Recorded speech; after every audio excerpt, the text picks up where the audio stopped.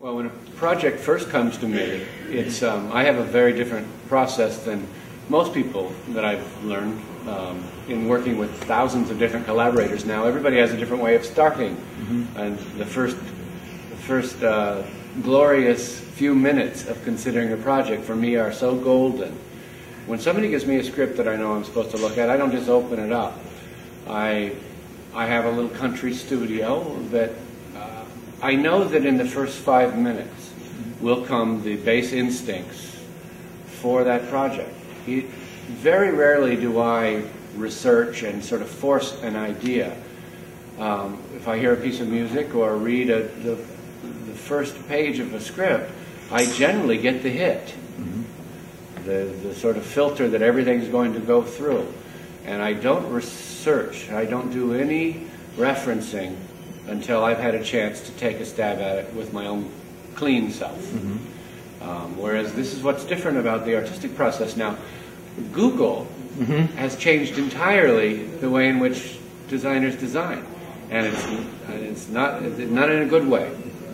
Maybe it's useful when you need to know what an oak leaf looks like, that you can within five minutes see the shape of it. But if you start the oak tree project mm-hmm. with googling oak tree, what did it mean to you really? It was a it was this sort of almost an arbitrary way arbitrary way in which those images came in front of you, and you're led. You're then led by this process.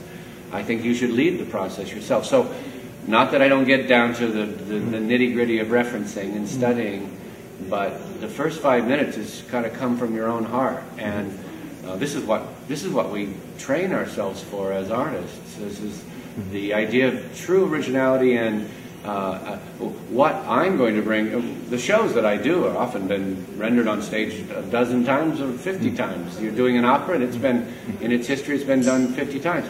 I, I want to do it in my own way, and I don't start by looking how others did it and what not to do and what to do. I really try to look at it in a, in a more pure fashion. And what did it, what did it mean to me? When you when I hear music, I hear I see a color. I mm-hmm. have you know I have real instincts and signals, that, and so I've found that when I don't follow my own signals, I get in trouble. And the work's not strong. Yeah. I mean, it may be adequate, but it's generic. So you find when that you don't really approach it in terms of conceiving form, more spirit or energy of the piece.